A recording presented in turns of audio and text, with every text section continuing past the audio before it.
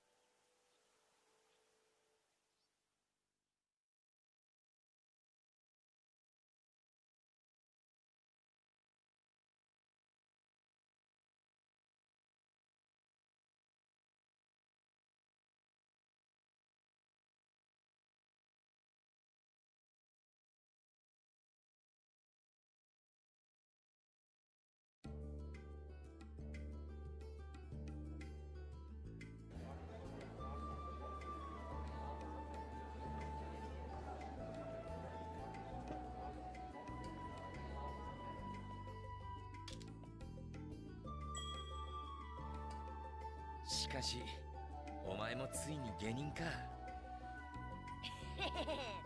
ようやく大活躍する時が来たってばよ。始まりの忍法帳ドタバタ忍者渦巻きナルト登場。はあ早くいろんな任務をやりてえな。あのな大変なのはこれからなんだぞ。任務では失敗は許されない。重い責任がつきまとうんだお前は昔から危なっかしいやつだからな。俺は心配で。イルカ先生。ん？俺ってばもう木の葉の忍びなんだぜ。いつまでもイルカ先生に心配されてるわけにはいかねえんだ。こっからはほかげへの道を全力で突き進むだけだってばよ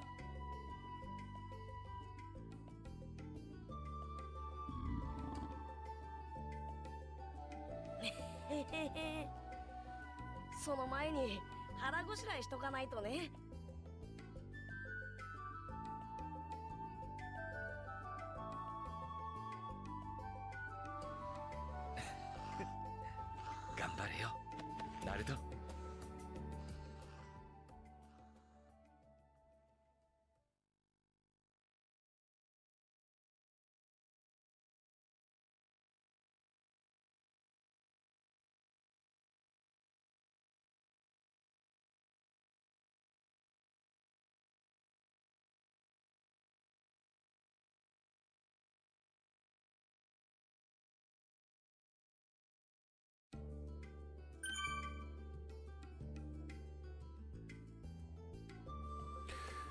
Ja, und damit hey Leute und willkommen zu einem neuen Let's Play. Wir spielen Naruto Ultimate Ninja Storm, den ersten Teil. Und ähm, ich weiß nicht, ob ich das damals gesagt habe bei einem anderen Let's Play, damals als ich Bleach gespielt habe. Ich glaube aber, ich habe das gesagt, dass auch öfters mal Anime-Spiele kommen werden. Da haben wir ein weiteres dazu. Hier ist Naruto. Davon werden wir auch ein paar Teile spielen. Wahrscheinlich nicht alle, aber erstmal für den Anfang so ein paar. Gut, ähm, ja, bevor ich das jetzt loslege, erstmal ein bisschen Gequatsche, wie man es eben kennt bei einem neuen Let's Play.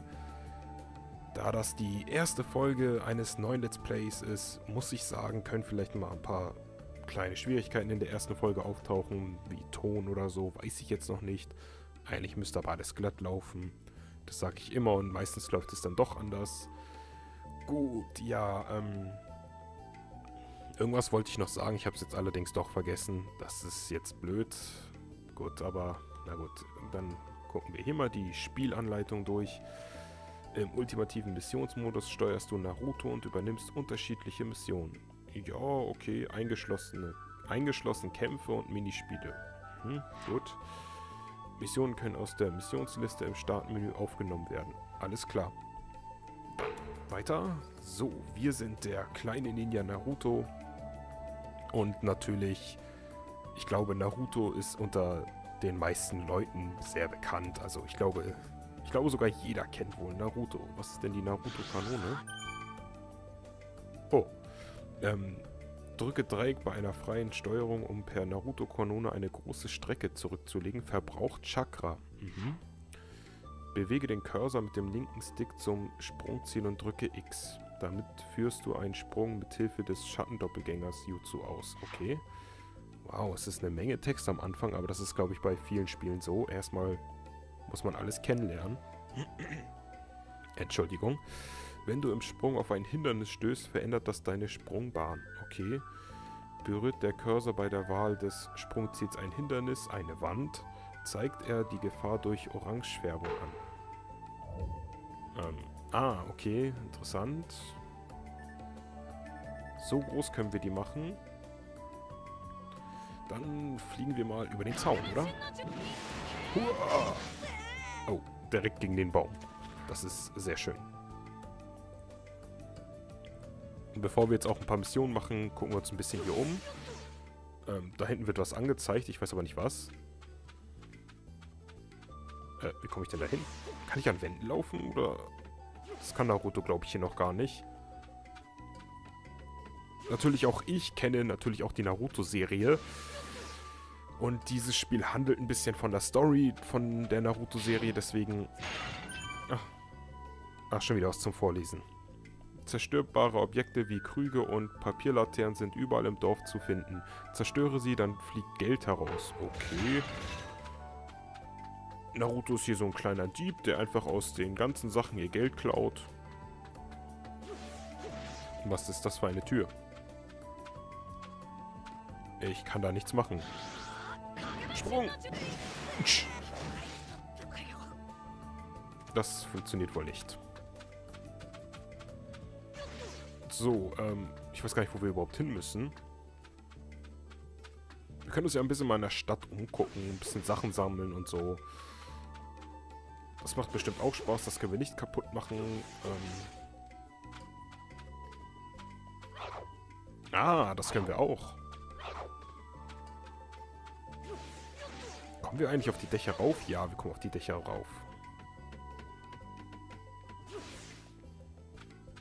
Ich sehe das Ziel, aber ich weiß nicht, hey, was ist das? Oh. Nein. Kann ich mich da reinfeuern? Glaube nicht, oder? Kann ich nicht irgendwas hier raufstellen? Ey, du da. Oh, wir können mit denen sprechen. Okay, wir müssen selber vorlesen. Es heißt, ein Phantomfuchs, den man den neunschwänzigen Fuchs nennt, hätte dieses Dorf vor langer Zeit angegriffen. Oh mein Gott, das ist ja was ganz Neues. Ich war damals nicht dabei, aber man sagt, er hat dem Dorf großen Schaden zugefügt. Sehr großen Schaden sogar. Und ich dachte, der kann sich darauf stellen. Okay, warte. Wir versuchen es anders. Hallo, Naruto. Ah, die Tür geht so schnell wieder zu. Ich versuch's nochmal mit reinfliegen. Vielleicht geht's ja jetzt.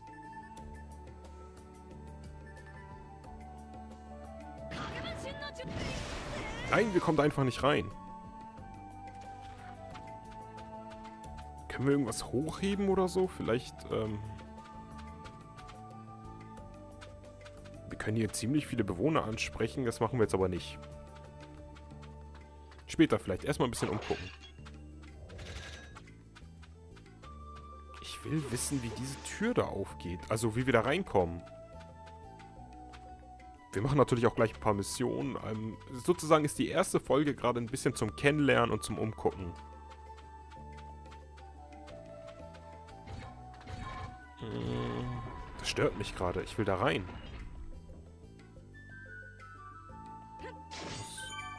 Oh, was habe ich gemacht?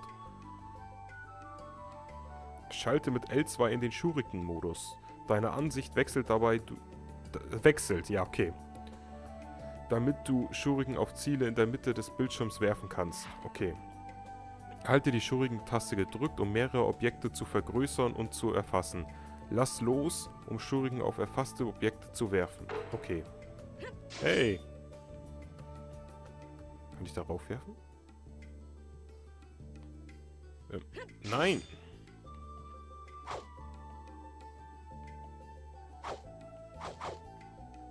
Ja, das hilft mir hier rein gar nicht.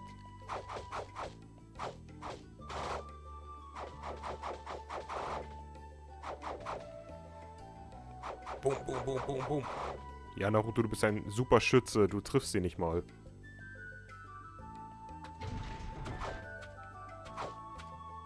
Ach, das funktioniert nicht.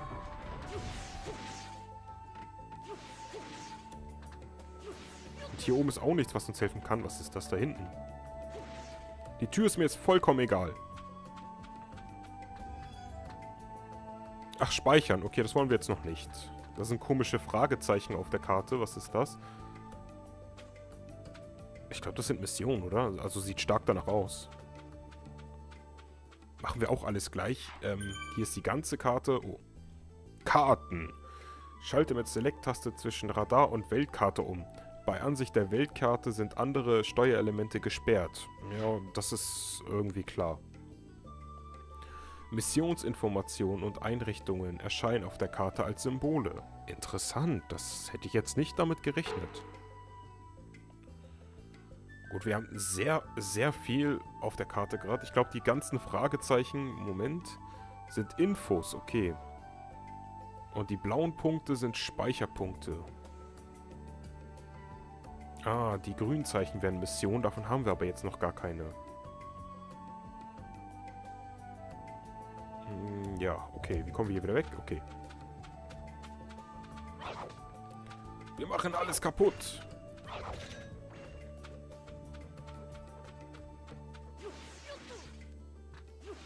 Ich will da oben rauf.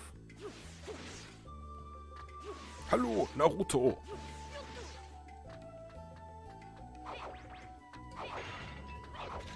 Oh, das dauert ein bisschen, bis es kaputt geht.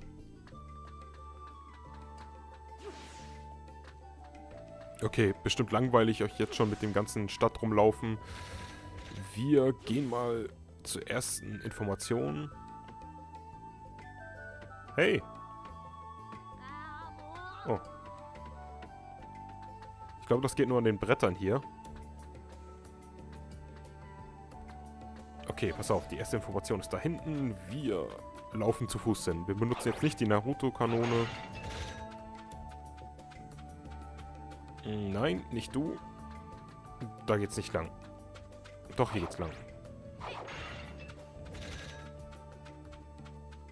Halt, wir machen noch das da vorne kaputt.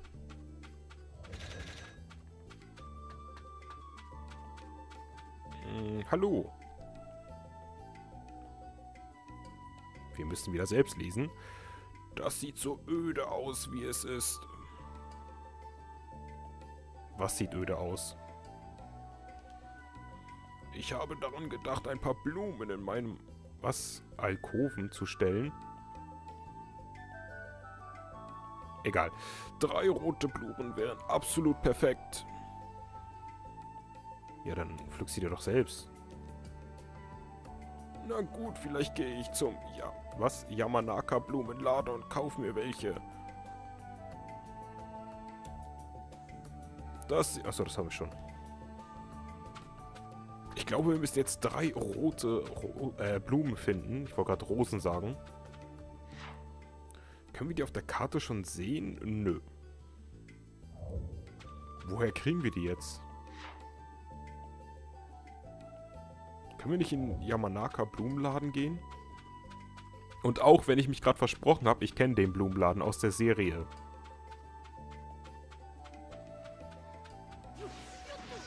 Ähm, ich weiß nur nicht, wo der Laden ist. Kann ich den nicht irgendwie auf der Karte sehen? Es gibt keine grünen Punkte hier. Ja, pass auf, dann holen wir uns erstmal noch mehr Fragezeichen. Wir nehmen erstmal alles an und dann gucken wir, was wir machen müssen. So, das nehmen wir auch mit. Und... Ähm, soll ich hier das Fragezeichen sein? Hey, Geld. Vielleicht da oben. Vielleicht da oben. Vielleicht ganz oben. Hier ist rein gar nichts. Hä? Ich verstehe das gerade nicht.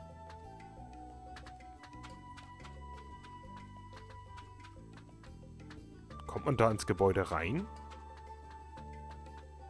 Nein, kommt man nicht.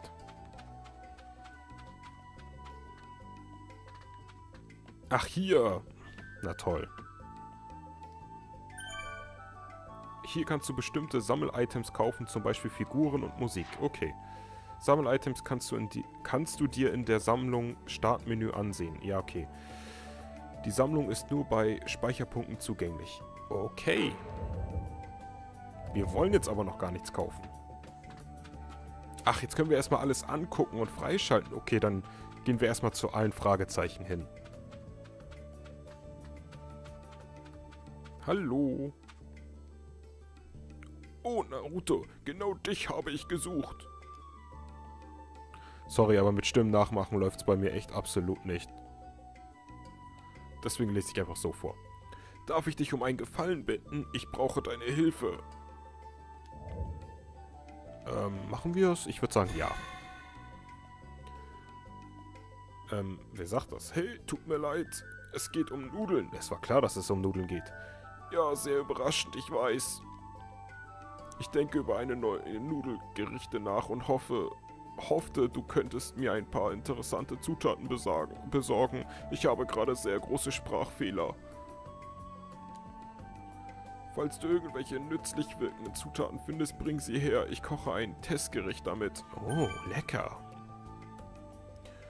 Äh, hier können wir jetzt also Nudelgerichte machen, oder was? Äh, bei einer Mission gesammelte oder erhaltene Items und er macht daraus neue Nudelgerichte. Ich kann seinen Namen leider nicht aussprechen.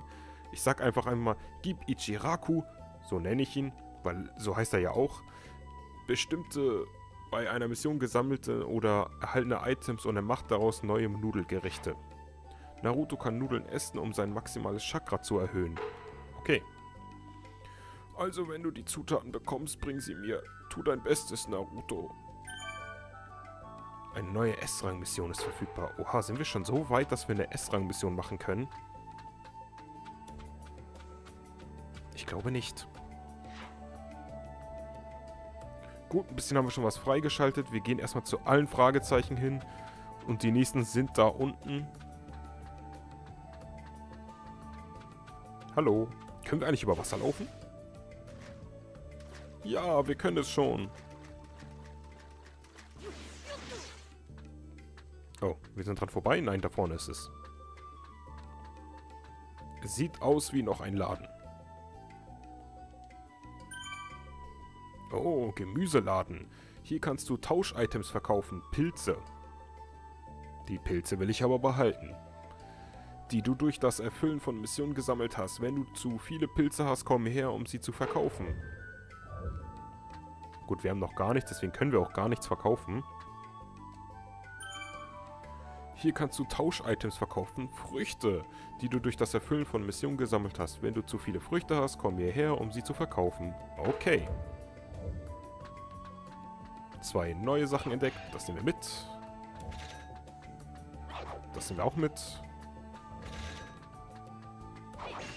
Das nehmen wir auch mit. So, wie gesagt, die erste Folge ist erstmal nur hier rumgucken. Da ist noch ein Laden. Hallo. Wieder mit Tausch-Items, diesmal mit Insekten.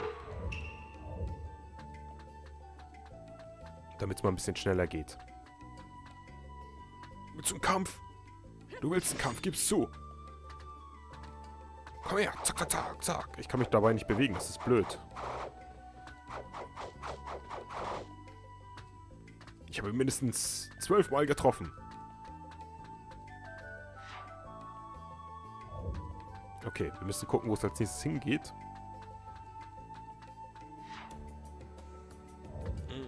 Ich glaube, die erste Folge von Naruto wird ein bisschen länger, damit wir schon mal alle Fragezeichen haben. So, ich will das nämlich nicht in 300 Folgen hier hinauszögern. Damit wir nämlich in der zweiten Folge auch schon direkt kämpfen können oder Missionen machen können oder was auch immer. So, da vorne müsste irgendwo das nächste Fragezeichen sein.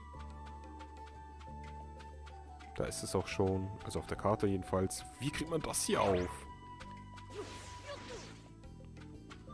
Es ist natürlich auf der anderen Seite.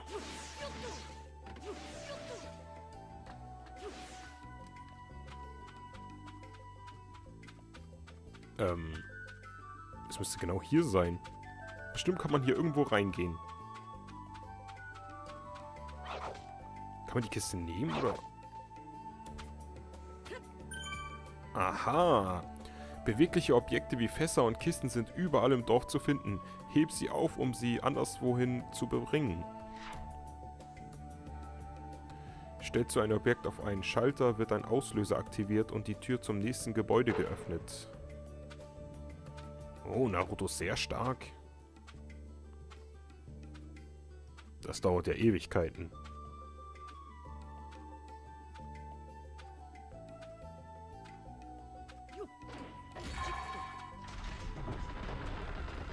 Haha. Kann man diese Dinger eigentlich nur mit ähm, den Sachen hier öffnen? Kann man nicht einfach zuschlagen? Ich, doch, ich dachte, man... Doch, man kann zuschlagen. Stimmt, das haben wir doch am Anfang auch gemacht. Ist das hier nicht der Blumenladen, wo wir nicht reinkommen? Hey, noch ein Laden, oder? Hier kannst du Items kaufen, die dir im Kampf helfen oder deine Aktion bei der Erkundung des Dorfes unterstützen. Ja, gibt der Ladenbesitzerin bestimmte bei einer Mission gesammelte oder erhaltene Items und sie macht daraus neue Items. Okay. Wir haben aber kaum Geld, glaube ich, deswegen machen wir jetzt noch gar nichts. Ähm, ein Fragezeichen bleibt noch, das ist ganz vorne. Das holen wir uns auch noch und dann können wir eigentlich auch direkt loslegen. Hier ist noch ein Schalter. Haben wir noch eine Kiste? Noah, die Kamera lässt sich ganz langsam drehen. Hier muss doch irgendwo eine Kiste sein. Kann man das nicht hochheben? Nein. Ich habe keinen Bock, die Kiste von da ganz hinten hierher zu schleppen.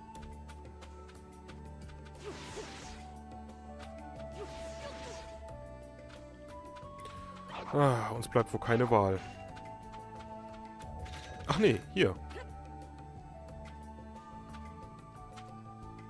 Können wir nicht irgendwie schneller laufen? Das wird jetzt sehr lange dauern, bis wir da sind. Nicht mehr lange. Gleich sind wir da. Nur noch ein kleines Stück. Wir haben's gleich, wir haben's gleich. Und wir sind da. Wow, wegen einer Kiste. Das hat sich richtig gelohnt.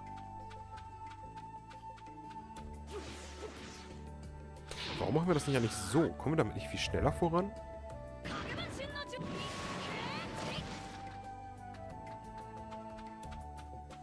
Ähm, jetzt muss ich mal ganz kurz auf die Karte gucken. Okay. Ich benutze die Naruto-Kanone mal noch nicht, damit wir unterwegs noch Items sammeln können. Hm, war das hier oben? Nein, wir sind runtergefallen.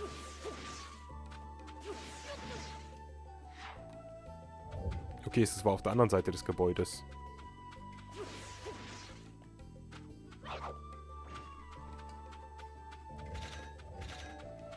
So, ein bisschen Geld haben wir schon mal, aber ich glaube irgendwie nicht, dass das viel ist.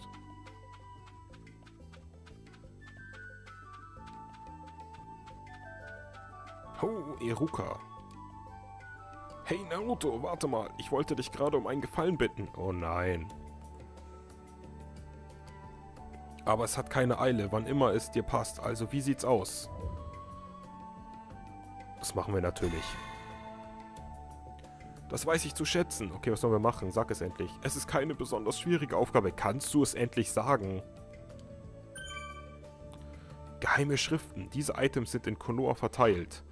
Sammle sie und bring sie zu Iruka. Er tauscht sie gegen Items, die du zum Erlernen von Hilfs-Ninjutsus benötigst. Okay. Alle erlernten Hilfen-Ninjutsus kannst du im Anpassen-Bildschirm der Charakterauswahl einstellen. Okay. Ich will, dass du die sammelst. Lass es mich wissen, wenn du deine annehmbare Menge gesammelt hast. Okay, ja, bla bla bla bla. Okay, hey, die drei kenne ich auch. Und den da kenne ich auch. Hallo, mach das kaputt. Ich frage mich, wo wir jetzt diese Schriftrollen finden. Die vielleicht irgendwo in der Stadt verteilt oder muss man die in Mission holen? Ah, jetzt bleib doch mal da oben drauf. Danke, Naruto. Falsche Richtung. Mist, wir kommen nicht so hoch. Ich versuch's. Nein, das klappt nicht. Hallo, steh auf. Oh, Naruto. Guck mal ganz kurz, ob wir welche finden. Mist. Wir brauchen mehr Power. Da können wir speichern, das wollen wir aber gerade nicht. So, waren das alle Fragezeichen? Ich würde sagen, das waren alle. Äh, und wo kriegen wir jetzt eine Mission her? Warte, das nehmen wir noch mal alles schnell mit. Tja, und dann würde ich sagen, wir gehen mal ganz kurz auf das Dach da drüben. Damit wir einen schöneren Ausblick haben.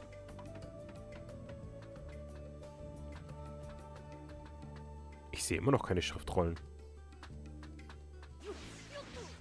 Nein, nicht runter.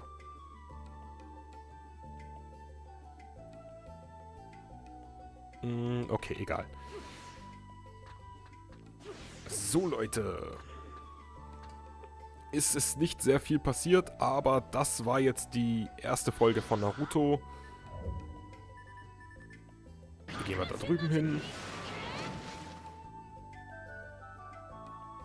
Ja, und ich beende das jetzt hier kurz und wir sehen uns in der nächsten Folge wieder. Da wird auch ein bisschen mehr passieren, hoffentlich. Vielleicht haben wir da auch unseren ersten Kampf. Bis dahin, tschüss.